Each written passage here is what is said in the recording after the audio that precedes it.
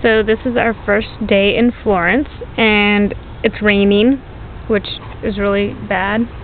And we just walked um, about mm, 20 minutes up this hill. As you can see, we're at the top of the hill, and we walked from basically, let's see, the town, that line of trees right there, this one. That is the river. We walked from the river up here and um, now we're tired. And we don't want to walk all the way back down because it's far and it's raining. And we're tired. And we're hungry.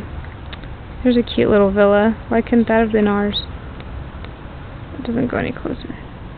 Um, basically we have a bunch of stuff down here. But um, I can't figure out how to get down there. And it's raining on me um, go over here, there's a, they put their clothes out, which is kind of funny, and that would have been a nice place to stay. Um, that's about it. It's the view from our villa, and now I'm going to go back inside because it's raining on me, and I'm getting all wet. So, Oh, I should probably show you the common rooms and stuff. So if we go inside, I'm out on the terrace. If we go inside, zoom back here. Lock this door.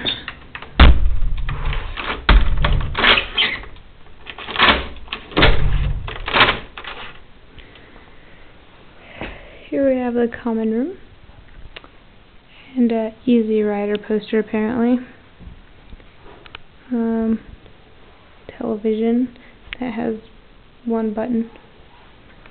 And this way. There's our room.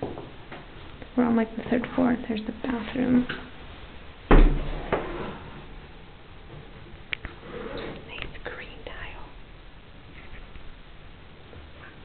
There's Ariana. There's the massive, massive flight of steps. There's some more city. You can't really see anything. Excuse me. And then the view from, let's see. The view from our room is the fabulous street outside. And it's still raining. The what? What's a Duomo? That dome? Apparently that dome right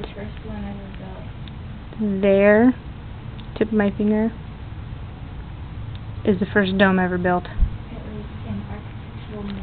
It was an architectural masterpiece, according to Ariana. You know, we could figure out how he did it.